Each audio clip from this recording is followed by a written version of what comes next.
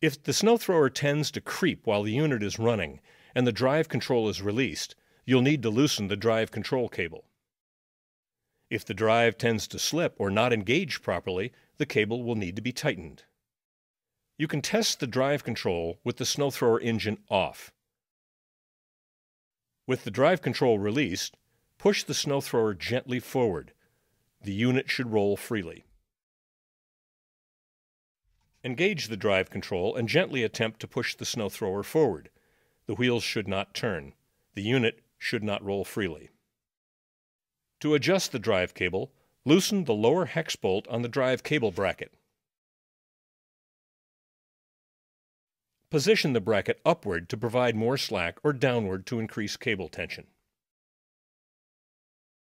Retighten the lower hex bolt, test drive the system as before, and repeat these procedures until the drive control is properly adjusted.